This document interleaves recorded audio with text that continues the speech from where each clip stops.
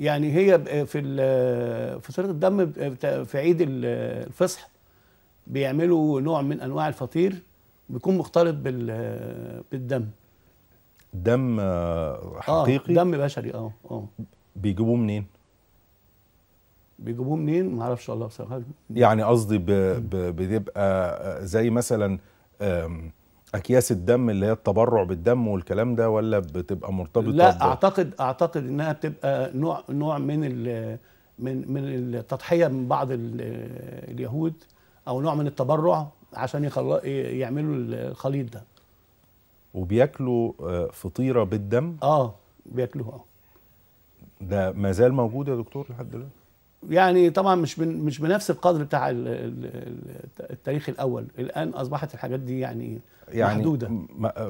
ب- بيعملوها المتشددين جدا اللي هم الحريدين. آه. وهم دول بيبقوا حريصين على إن هم يعملوا. الأشياء دي. طب هل- طبعا عامة الناس ما بتعملش كده. طبعا ما هي يعني أعتقد إن ده شيء غير صحي آه. تماما يعني. آه. آه وبيكون له آثار أكيد صحية أكيد يعني. طبعا طبعا. لأن فطيرة ب- ب- بدم بشري يعني. آه.